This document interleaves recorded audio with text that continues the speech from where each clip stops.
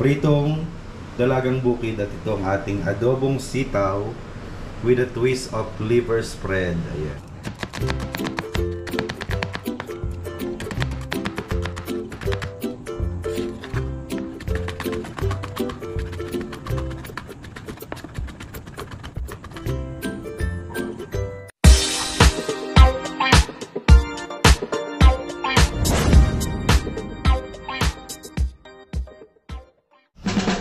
Guys, what's up? This is Fern and welcome back to my channel. Good morning, kakagising ko lang. Ayan, magapa. Magapa yung, mugto pa yung mata. So, ang task na naman natin ngayon is magluluto. Pero, bago yan, maglipit muna tayo ng pinaghigaan.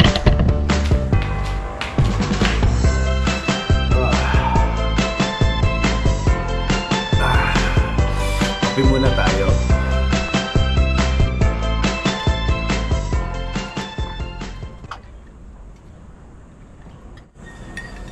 Coffee.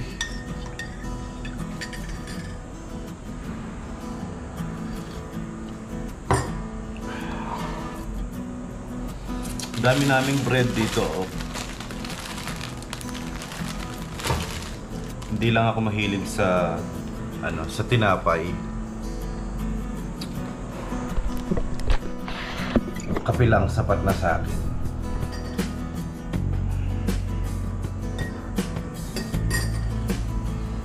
Minessage ko yung pamangkin ko na ano, dito ko na siya pakakainin kasi kung- kung napanood nyo yung last vlog ko sa palengke, pinadagdagan ko yung dalagang bukid kasi paborito niya yun. Pinagawa ko siyang isang kilo. So, minessage ko siya, wala pang reply. Magpiprito ako ng dalagang bukid at saka mag-aadobo ako ng sitaw.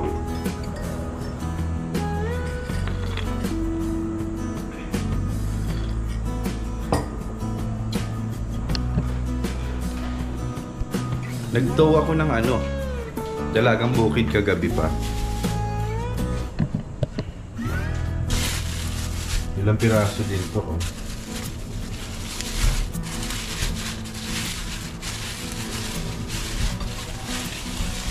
Ayan. 2, 4, 6 pieces. Lalaki sila. Tapos dalawa lang kaming kakain.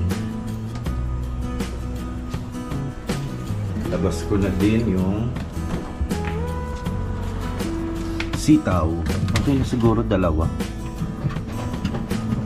Dalawa lang naman kami. No, okay na to.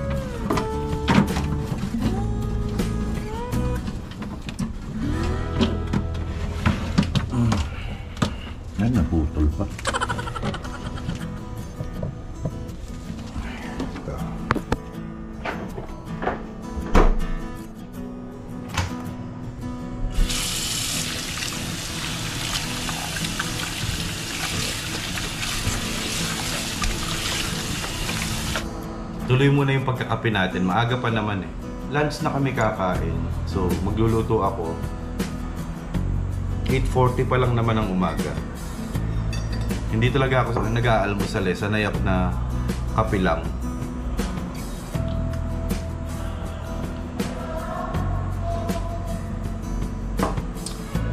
Papakain muna ako ng ano, ng alaga. Pakainin muna natin si Prada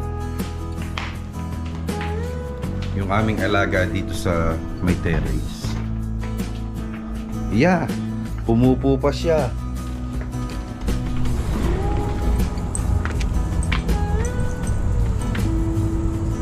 Brother!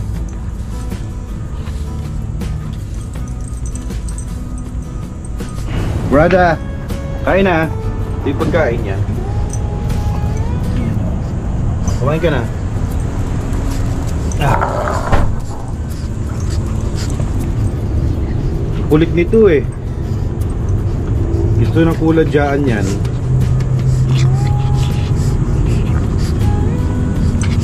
Ginupitan siya kasi madaming garapata nung dinala siya sa Pampanga nahalo naghalo siya dun sa mga aso doon. Ayan, nagkagarapata siya. Kaya ayan, kalbo siya ngayon. Nagkasugat-sugat siya sa ano, dito sa may likod. Prada, Prada. Kain na, kain na. Makulit to. Nakikipagkulad dyan to eh. Yan. Ang ating labas. Ang ating harapan. Ayan. oh.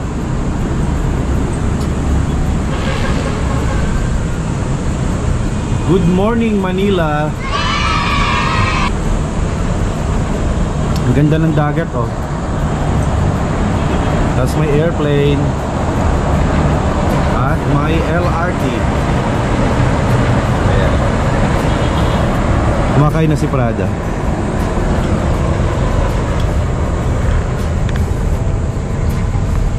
Di ba kumakain siya? Pag narinig niya yung pangalan niya, hihinto siya. Gusto niya makipaglaro. Kuladyaan ang gusto ng aso na yan eh. So anyway, tapusin muna natin yung ating pag, pag, pagkakape. Magkape muna tayo. Because coffee is life. Because life is so good. Good morning, Pop. Life is so good with coffee.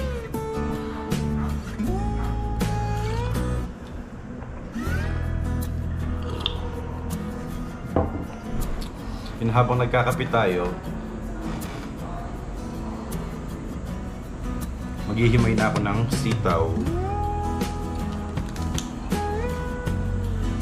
Nanguluntoy na nung isang araw, nung isang araw ko pa kasi ito binili eh.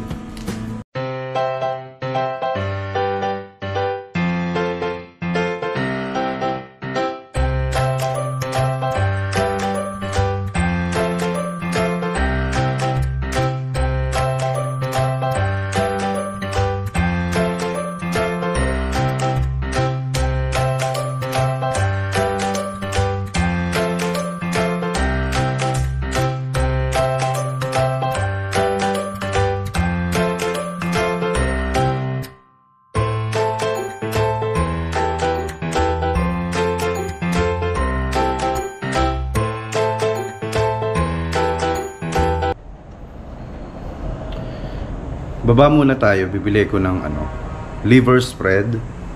Yung maliit lang. Yun ang ilalagay ko sa adobong sitaw. Ayan. Para may twist. At saka masarap yun. Masarap yung lasa nun sa adobong sitaw. Sana may mabili kong reno sa baba.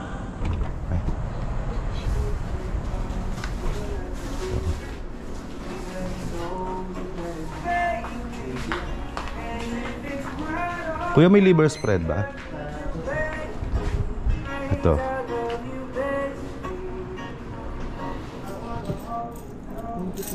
Thank.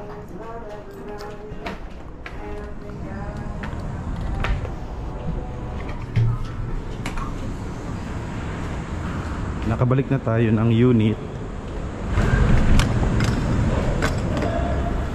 Whew.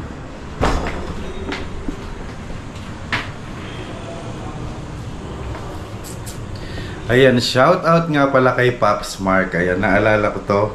Yung maliit na reno. Ito, liver spread. Nung nagkaldireta siya, naubos ko kasi pinalagay ko dalawa. Eh, galing, galing Pilipinas pa pala yung kanyang liver spread na reno. Iba talaga kasi yung lasa nito. Napakasarap. Nilagyan ko lang ng magic sarap tong dalagang bukid. Ayan, para may lasa siya na kakaiba. Unahin na natin iprito yung ating bangus. Ay, bangus. yung dalagang bukid. Nilagyan ko siya ng magic sarap dito sa ano. Inispread ko lang tapos hinalo-halo ko para may lasa yung kanyang skin.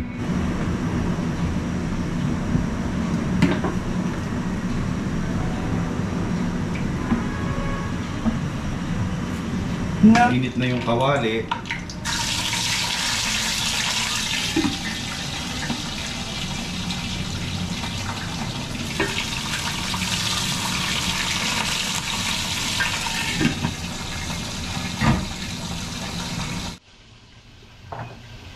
Sasabayan natin ng pagkakape ang ating pagluluto. Ito sugar namin dito brown.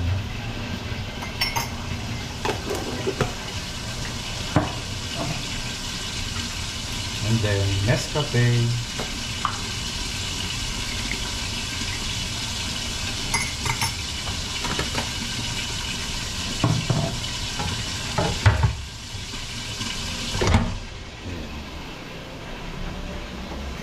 Kapag nagluluto talaga ako, okay na yan. Kape. Coffee is life talaga.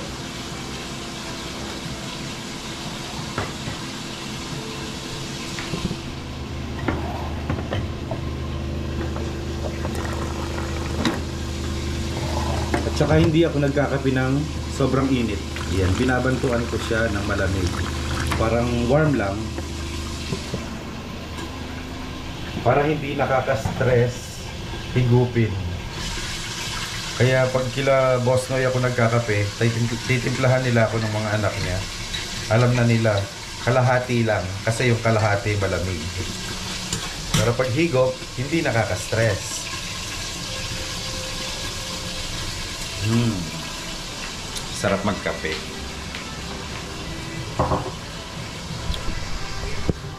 At the same time, naka-play si Nonoy. Yan, gusto ko yung mga kanta niyan, idol ko yan. So check natin ang ating dalagang bukid. Ayun eh. Matilamsik pa. Nakapaghiwa na nga pala ako ng ano, gagamitin sa adobong sitaw. Ayan. Bawang, sibuyas, oyster, toyo, tapos suka, ayan, aji, magic. Lalagyan ko siya nito. Ito yung twist. Ang liver spread. At saka ito. Black pepper. Para yummers. Paboritong isda to ng pamangkin ko eh. Ako, kinakain ko na siya ngayon pero dati hindi. Yung kumakain natin ito kasi yung kulay niya, di ba? Pagka naluto siya, parang mapink-pink. Ayan. Pero ngayon kinakain ko na siya.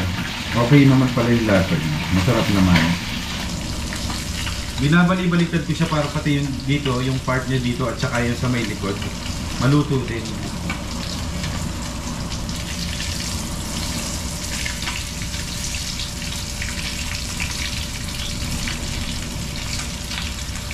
Okay na to, pwede nang hamugin. Pwede nang tanggalin.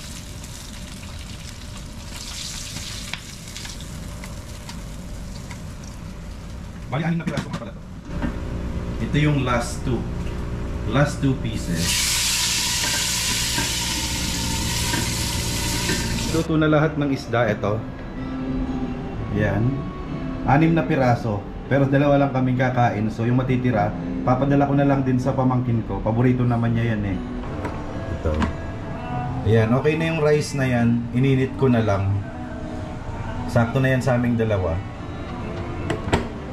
Tapos, itong pinagprituhan ko ng isda, dito na lang din ako magigisa. Sayang naman, wala na kaming mantika. Ito na lang natira. So, yan ang gagamitin ko. Yan, bawang.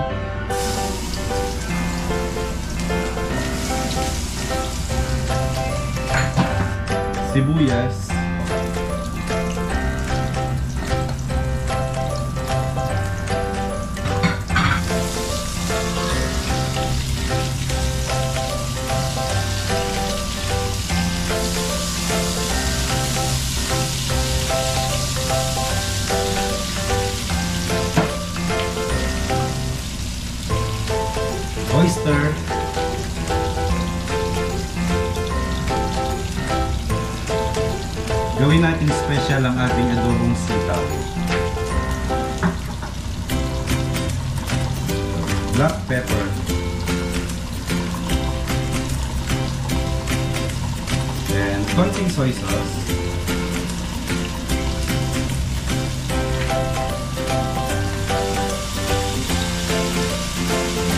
Pakuloy lang natin din.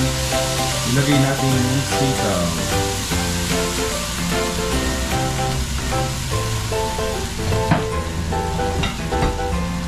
Lagay na natin itong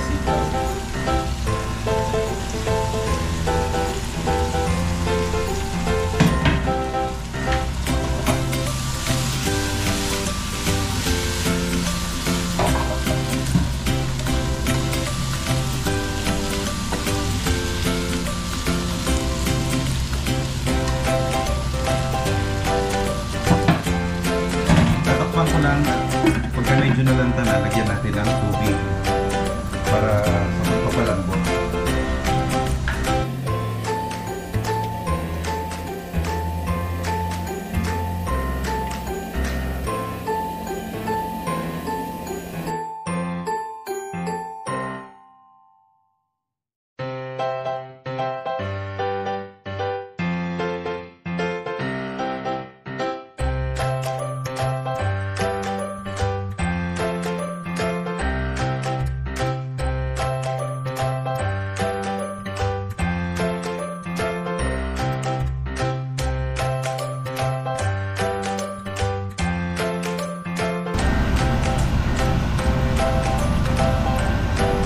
Bago ko siya takpan, lalagay ko na din yung ating liver spread.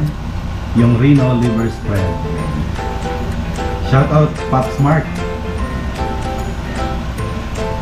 Hindi kita makalimutan sa liver spread. Na galing Pilipinas. Dudurugin ko lang siya. Bago natin siya takpan. Masarap to eh pagka nag-coat siya sa gulay. Tapos magiging thick yung sauce niya.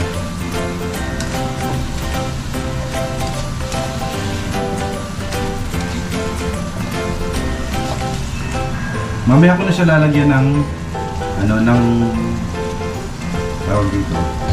Suka. Mamaya na natin siya susukaan pagka malambot na yung ating sitaw.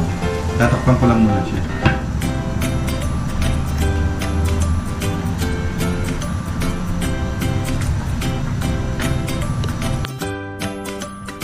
Check natin after 3 minutes.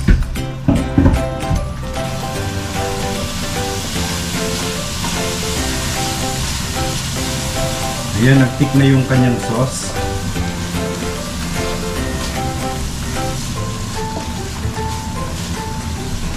Hihinaan ko na yung apoy into medium. Medium heat.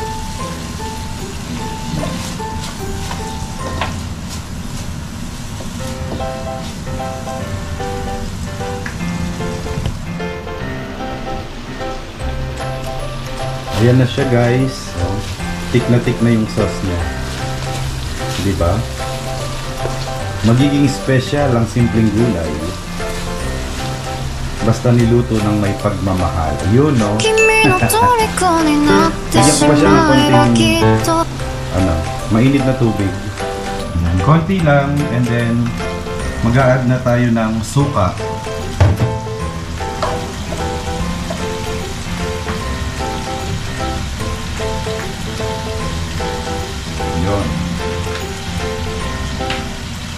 Walang exact measurement yung ating nilagay na mga pampalasa. So, nasa sa inyo na yon Kanya-kanya tayo ng timpla.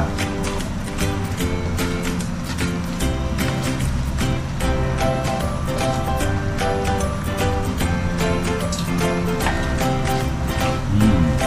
Yummers. Yummers na siya.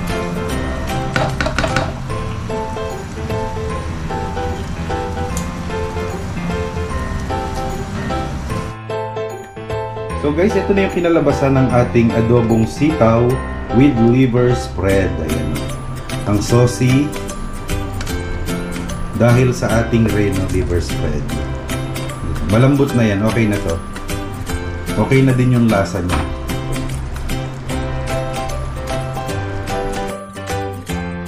Yan, ito na yung ating lunch. Late lunch na mangyayari kasi 1pm pupunta yung pamangkin ko. Ayan. Pritong dalagang bukid at ito ang ating adobong sitaw with a twist of liver spread. Ayan. Solve na ang ating lunch. Tapos na akong magluto. Init, pinawisan tayo. And then, nagkakape pa rin ako hanggang ngayon. Because coffee is life.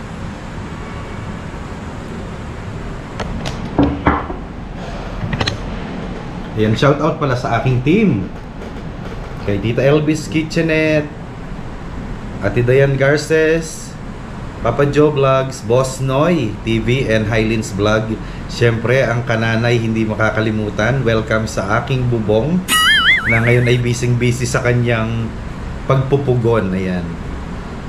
Betchay TV. Kay, siyempre, Pops Mark. Life is so good. Ayan. Kay Sir Jonathan, Kadog Show TV. Kay Ma'am Alodia. ah, kay Tita Celia Baki. Ayan. At saka kay Mami Ami G. Ayan. Maraming maraming salamat sa suporta nyo palagi at saan mang dako tayo ng mundo palaging mag-iingat. Ayan, doble-doble ingat. And shout out din kay Daddy Ritzmon and Elise from Canada, kay Kuya Pards na nasa Saudi Arabia. So tapusin ko na tong video and yung pagkakape ko. That's it for today's video. Please like if you did enjoy and please subscribe if you haven't yet. I hope to see you guys soon. Be good. Bye-bye.